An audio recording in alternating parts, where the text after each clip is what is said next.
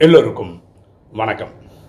இன்னைக்கு நம்ம பார்க்கக்கூடிய subject why people hate this world drama மக்கள் இந்த உலக நாடகத்தை வெறுப்பது ஏன்? ஒரு ஆத்மா இப்படி யூடியூப் கமெண்ட் போட்டிருந்தாங்க. அது அவங்க ராஜயோகம் ப்ராக்டிஸ் பண்ணுறாங்க அவங்க ஃப்ரெண்டு யாரோ இந்த கேள்வி கேட்டிருக்காங்க.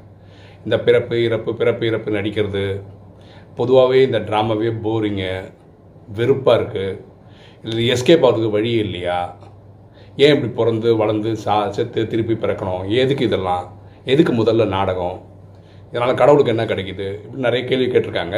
இவங்க தெரிஞ்ச மாதிரி பதில் சொல்ல ட்ரை பண்ணியிருக்காங்க. எப்படி சொல்லியும் அவங்க கன்வின்ஸ் ஆகலை. அதனால் கன்வின்சிங்கான ஒரு ஆன்சர் சொல்ல முடியுமா? அப்படின்னு யூடியூப் கமெண்டில் கேட்டிருக்காங்க. ஸோ இதுக்கு நம்ம விடை கொடுக்க ட்ரை பண்ணுவோமே. நம்ம புரிஞ்சுக்க வேண்டியது என்னென்னா நம்ம இப்போ கலிகாலத்தை மட்டும்தான் பார்க்குறோம். நம்ம வாழ்கிற இந்த வாழ்க்கையை பார்த்துட்டு பொதுவாக ஒரு முடிவுக்கு வந்துடும் ட்ராமா போரிங் இரிட்டேட்டிங்காக இருக்குது வெறுப்பாக இருக்குது அப்படின்னு ஒரு முடிவுக்கு வந்துடும் ஆனால் ட்ராமான்றது பகவத்கீதை சொல்கிற மாதிரி. இந்த நாடகத்தில் எது நடந்தாலும் நடந்ததெல்லாம் நல்லது நடக்கிறதெல்லாம் நடக்குது நடக்க போகிறதெல்லாம் நல்லது. ஸோ அதுதான் கைடிங் ஃபேக்டர் இந்த ட்ராமா எப்படி பிரிக்கப்பட்டிருக்குன்னா சுகம் துக்கம் நிறைந்த விளையாட்டு. ரெண்டாயிரத்தி ஐநூறு வருஷம் சுகம் ரெண்டாயிரத்தி ஐநூறு வருஷம் துக்கம். இப்போ நம்ம கலிகாலத்தில் இருக்கோம் அதுவும் கடைசியில் இருக்கோம் துக்கத்தினுடைய க இதில் இருக்கோம். ஸோ இங்கே நீங்கள் வந்து சந்தோஷம் சந்தோஷம்னு எதிர்பார்க்க முடியாது. ஓகே ஸோ இந்த ட்ராமா புரிதல் இருந்ததுன்னா உங்களுக்கு ட்ராமா என்ஜாய் பண்ண முடியும். ட்ராமா புரிதல் இல்லாதவங்களுக்கு தான் இது கஷ்டமாக இருக்கு. ஸோ இந்த புரிதல் இருந்தால் நல்லது. புரியுதுங்களா? ரெண்டாவது இந்த பிறப்பு இறப்பு வருது இல்லையா? இதில் வேற மக்களுக்கு பிடிக்க மாட்டேருந்து புரிஞ்சுக்கோங்களேன் சத்தியுகத்தில் நம்ம வந்து நூற்றி ஐம்பது வயசு ஆயுசோட வாழ்கிறோம் சுகமே சுகம். அதனால் அப்படி நடிச்சுட்டு போயிடலாம். பிரச்சனையே கிடையாது. திரேதா வரும்போது நூறு வயசு ஆவரேஜ் லைஃப் நல்லா இருக்கு. கலிகாலத்தில் வந்து துக்கமே துக்கம். அப்படி இருக்கும்போது இங்கே நாற்பத்தி ரெண்டு பிரிவு எடுக்கணும். அதே ஆயிரத்தி இருநூத்தம்பது வருஷத்தில். அப்போ ஆவரேஜ் லைஃப் முப்பது. இப்போ ஃபார் எக்ஸாம்பிள் வச்சுக்கோங்களேன். நம்ம சத்தியுகம் மாதிரி இங்கே வாழ முடியும் அப்படின்னு ஒரு ஹைப்போதைசிஸ் எடுத்துக்கிட்டோம்னு வச்சுக்கோங்களேன். சுகரு ப்ரெஷரு ஊரில் இருக்கிற எல்லா நோயும் வச்சுக்கிட்டு நூற்றி ஐம்பது வருஷம் வாடுறதுன்றது கொடுமையிலும் கொடுமை. அதுக்கு சரீரம் விட்டு இன்னொரு குழந்தையா பிறந்து திரும்பி ஒரு பெட்டர் வாழ்க்கை வாழ்ந்துட்டு போயிடலாம். ஸோ இந்த புரிதல் இருக்கணும். ட்ராமாவில் இனி ஒரு புரிதல் இருந்தால் உங்களுக்கு கிளாரிட்டி வந்துடும் என்ன புரிதல்னா மனிதர்கள் தாங்கள் செய்கிற தவிர உடலில் நோய் வந்து அனுபவிக்கணும்.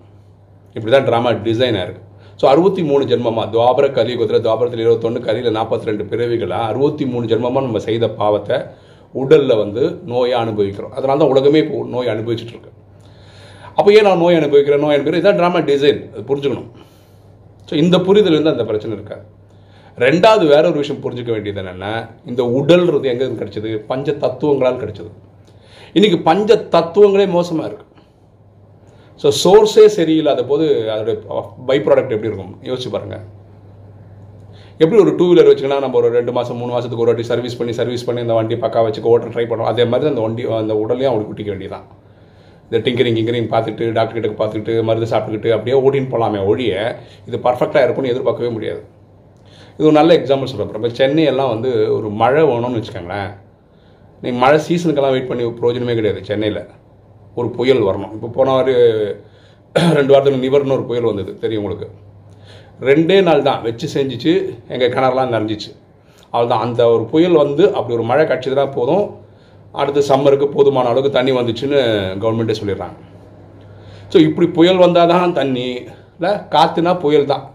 இந்த தென்றல்ன்றதெல்லாம் பார்க்குறதெல்லாம் முடியாது. அந்த மாதிரி ஆகிப்போச்சு காலம். ஸோ இது நமக்கு புரிதல் இருக்கணும். பஞ்ச தத்துவங்கள் மோசமாக இருக்குது அது அப்படி தான் இருக்கும். இந்த ஜட்ஜ்மெண்ட் டே அன்னைக்கு அது விஸ்வரூபம் எடுத்துரும் எல்லாமே. வினாசத்தை கொண்டு வந்து முடித்து அது செட்டில் ஆனதுக்கு அப்புறம் தான் சத்தியுகத்துலேருந்து அது சூப்பராக இருக்கும் நம்ம சீசன்லாம் வசந்த காலம் தான் ஸோ நான் ரெண்டாயிரத்தி ஐநூறு வருஷத்துக்கு வசந்த காலம் தான் பூமியில். ஸோ இந்த புரிதல் இருந்தால் நல்லது. அடுத்த பிரச்சனை என்னென்ன? வாழ்க்கையில் ஏன் பிரச்சனைகள் வருது அப்படின்றதுக்கு பரமாத்மா ரொம்ப கிளியராக சொல்லிட்டார். ஏன் நீங்கள் கஷ்டப்படுறீங்கன்றதுக்கு ஃபார்முலா சொல்லிட்டார். நம்ம வந்து அஞ்சு விகாரங்களில் ஈடுபட்டோம். அறுபத்தி மூணு பிறவிகளாக காமம் கோபம் அகங்காரம் பற்று பேராசை. ஸோ எல்லா பிரச்சனைக்கும் இந்த அஞ்சு தான் காரணம். ஆனால் நம்ம எப்படி இருக்கோம்னா இந்த அஞ்சுலையும் ஈடுபடுவோம். ஆனால் நான் நல்லா இருக்கணும் அப்படின்னு நினைக்கிறோம். இது எக்ஸாம்பிள் சொல்லணும்னா புரிகிற மாதிரி இப்போ எனக்கே எக்ஸாம்பிள் சொல்கிறேன் பாருங்களேன். இப்போ நான் வந்து டயபெட்டிக் ஓகேவா இன்றைக்கும் சொல்கிறேன் குலோப் ஜாமுன் இந்த ரசகுல்லா இதை பார்த்தேன்னு வச்சுக்கோங்க சாப்பிட்ருவேன் நான். அப்போ என்னோட கண்ட்ரோல் என்ன இருக்குது எந்த லட்சத்தில் இருக்குது என்ன ஒரு அஞ்சாறு சாப்பிட்றதுக்குள்ள ஒன்றே ஒன்று அந்த அந்த அளவுக்கு குறைச்சிருக்கும். ஆனால் ஆக்சுவலாக என்ன சொல்கிறாங்க டேரெக்டாக டேரக்ட் சுகர் அவாய்ட் பண்ண சொல்கிறாங்க அப்போ நமக்கு தெரியும் டயபெட்டிக்கு காரணம் என்னன்னு தெரியும்.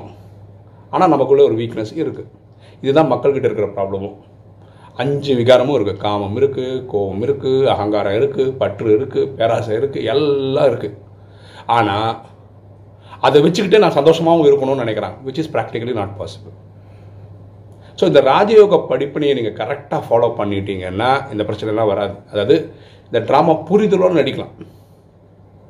ட்ராமா நல்லது தான் பாருங்களேன் ட்ராமாவில் அதே மாதிரி ரா- ப- பரமாத்மா ராஜயோகத்தை சொல்லிக் கொடுக்குற வேற ஒரு விஷயம் என்னென்ன எண்ணம் சொல் செயல் மூலமாக யாருக்கும் துக்கம் கொடுக்காதீங்க அப்படின்னு பரமாத்மா சொல்கிறார் நம்ம அப்படி இருக்கோமா? சீரியஸாக எண்ணத்தில் துக்கம் கொடுக்காம இருக்கோமா? சொல்லு துக்கம் கொடுக்காம இருக்கோமா? செயலில் துக்கம் கொடுக்காம இருக்கோமான்னு பார்க்கணும். நம்ம இப்படி துக்கம் கொடுத்துக்கிட்டே இருந்துக்கிட்டு நான் மட்டும் சந்தோஷமாக இருக்கணும்னு நினைக்கிறது இந்த ட்ராமா அலோவ் பண்ணுறது கிடையாது. ட்ராமா யாருக்கு என்ன பண்ணோன்னா நீங்கள் நல்லது பண்ணால் உங்களுக்கு நல்லது தர வேண்டியது ட்ராமாவோட வேலை. நீங்கள் கெட்டது பண்ணிங்கன்னா உங்களுக்கு அதை வச்சு செய்யும். அதுவும் ட்ராமாவோட வேலை. ஸோ நம்ம எல்லாம் தெரிஞ்சு வச்சுருக்கோம் இப்போ ராஜயோகத்துக்கு வந்து. ஆனால் அதெல்லாம் சரியாக கடைப்பிடிக்கிறோமான்றதை பொறுத்து இருக்குது நம்ம வாழ்க்கை நல்லா இருக்கிறதும் நல்லா இல்லாமல் இருக்கிறதும். புரிஞ்சுங்களா? ஸோ புரிதல் என்னென்ன ட்ராமா நல்லது. ட்ராமா ஏன் இப்படி இருக்குன்றதுக்கு எல்லா விளக்கம் ராஜயோகம் சொல்லியாச்சு. அஞ்சு விகாரங்களில் போகிறது பஞ்சதத்துவங்கள் மோசமாக இருக்கிறது. ட்ராமா இந்த நேரத்தில் அப்படி தான் இருக்கும். மக்களை எல்லா துக்கத்தையும் உடலில் அணு நோய் வந்து தான் அனுபவிப்பேன். எல்லாம் தெரிஞ்சிருந்தும் அதை கடைப்பிடிக்காதவங்களுக்கு ட்ராமா போரிங்காக தான் இருக்கும் வெறுப்பாக தான் இருக்கும் கஷ்டமாக தான் இருக்கும். புரியுது புரியுதுங்களா? ஸோ அதனால தான் பரமாத்மா சொல்லக்கூடிய ஸ்ரீமத் ஸ்ரீனா உயர்ந்த மத்துனா வழி. பரமாத்மா சொல்லக்கூடிய உயர்ந்த வழிபடி ஃபாலோ பண்ணுறவங்களுக்கு இந்த கிளாரிட்டி இருக்கிறவங்களுக்கு இந்த ட்ராமா நல்லா தான் இருக்குது நல்லா தான் இருக்கும். இந்த கிளாரிட்டி இல்லாதவங்க எப்போ பார்த்தாலும் இந்த ட்ராமாவை குறை சொல்லிக்கிட்டே இருக்க வேண்டியிருக்கும். வேற ஒரு விஷயம் புரிஞ்சுக்கிட்டா நல்லது.